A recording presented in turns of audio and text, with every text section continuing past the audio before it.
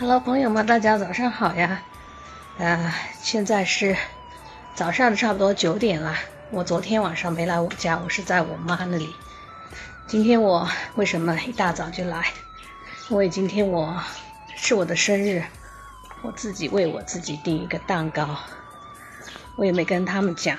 现在我要去那个蛋糕店，啊，先吃了早点，再去蛋糕店。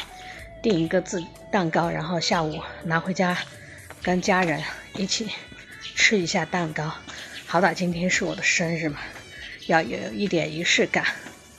原来过生日吧，就是好多年前喜欢跟一大帮朋友就唱歌、吃饭、吃蛋糕。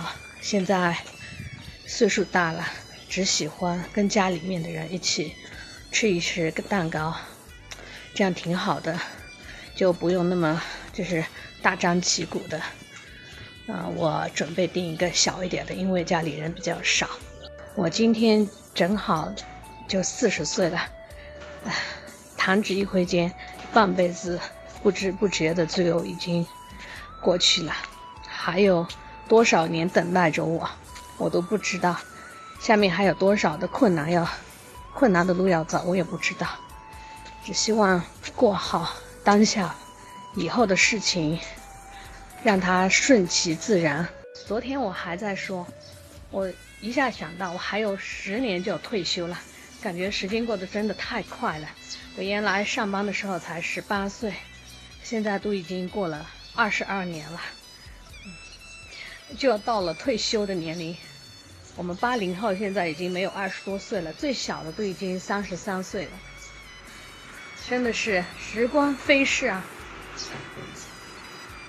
嗯，所有的时间看似过得很慢，但你回过头一看，真的是特别的快。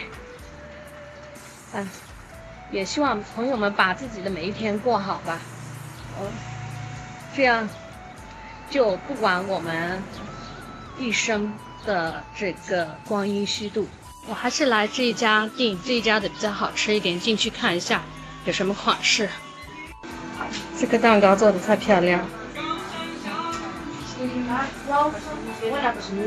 现在蛋糕订好了，九十八块钱，下午五点钟来取。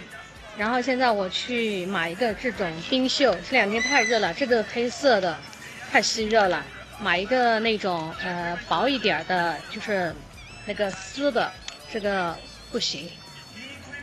现在已经拿到蛋糕了。准备回家去了，太热了，今天三十多度。这就是今天的蛋糕，一个人的生日，有一个帮我庆祝。